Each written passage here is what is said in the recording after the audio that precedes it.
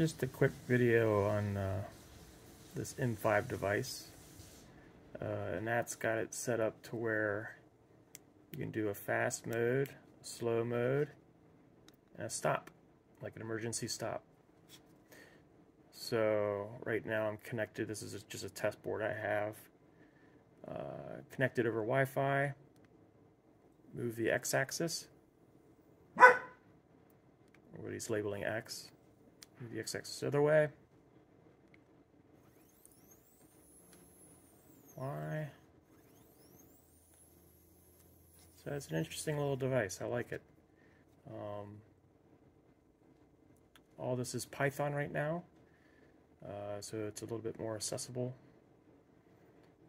Um, but uh, pretty neat. There isn't a mix. If you straight up X, Y, X, Y, there is no X. Oh, I guess I got going X and Y there.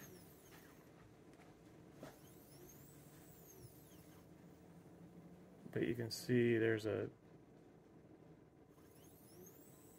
I don't know how I got it doing both. But with more coding, um, anything's possible.